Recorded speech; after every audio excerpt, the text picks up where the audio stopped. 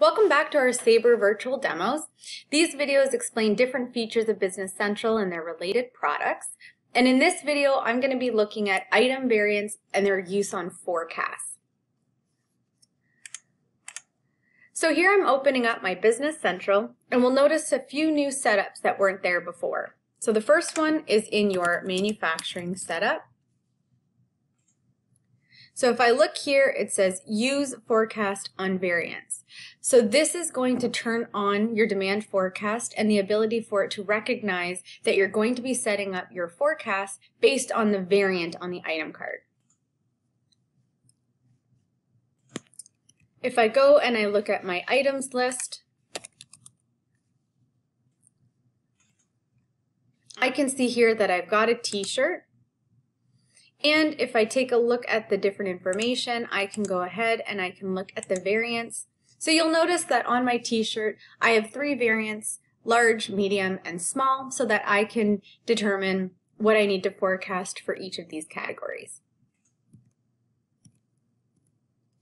Now I can navigate to my demand forecast where I enter in the forecast for the different periods so I don't have one created. So let's say I'm creating a 2022 sales forecast. So I'm going to go ahead and I'm going to edit that forecast.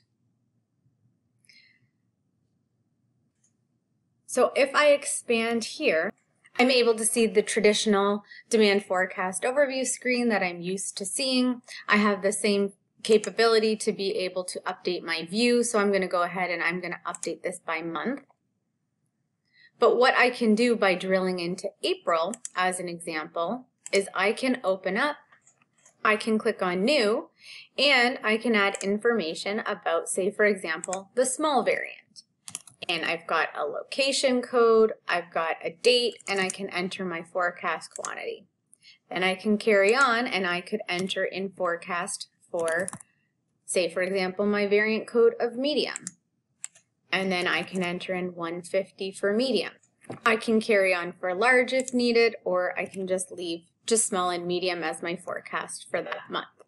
So here I can see that 250 is my overall forecast for t-shirts, but by drilling in, I can see that 150 is for the medium and 100 is for the small. So I can drill down to a little bit more visibility and then what I'm able to do is run my planning worksheet and have the system take my forecast and create suggestions for me if needed the same way that we were able to do in previous versions.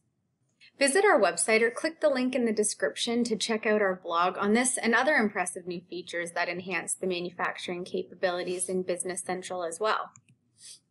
Thank you for watching our videos. Please follow our channel by clicking here to stay up to date with the latest content or click here for more great videos. Don't forget to visit our website at sabrelimited.com. We look forward to seeing you next time.